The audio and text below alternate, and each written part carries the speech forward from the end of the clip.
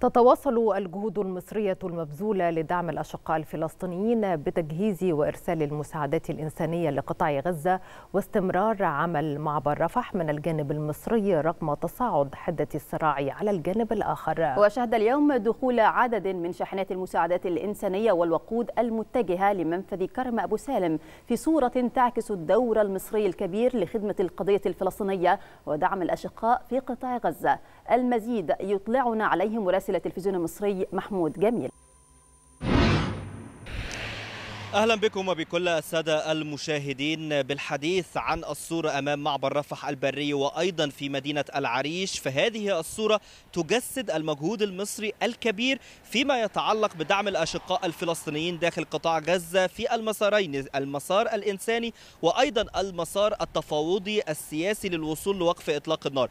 بالحديث عن المسار الإنساني اليوم هو يوم هام فيما يتعلق بدخول شاحنات المساعدات. نتحدث عن مرور ثمانية أيام منذ بدء دخول المساعدات من منفذ كرم أبو سالم بعد الاتفاق بين مصر والأمم المتحدة. نتحدث عن دخول 200 شاحنة اليوم محملة بعدد كبير من أطنان المساعدات سواء الغذائية أو حتى المستلزمات الطبية. هذه هذه الشاحنات هناك عدد من هذه الشاحنات أفرغ الحمولة وعادت بالفعل مرة أخرى إلى منفذ رفح المصري.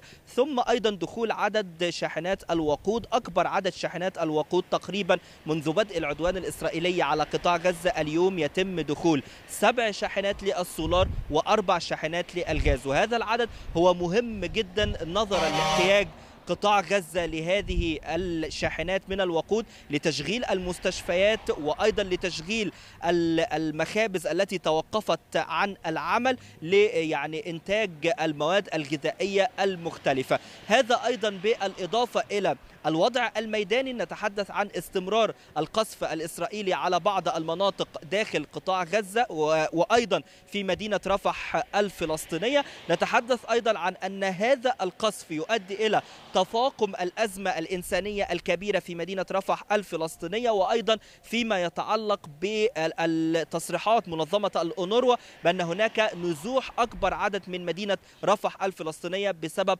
نقص المساعدات الإنسانية داخل القطاع وأيضا عدم تمكن العاملين في منظمة الأونروا بالعمل داخل مدينة رفح الفلسطينية. هذه هي الصورة والآن عودة إليكم في الاستوديو مرة أخرى.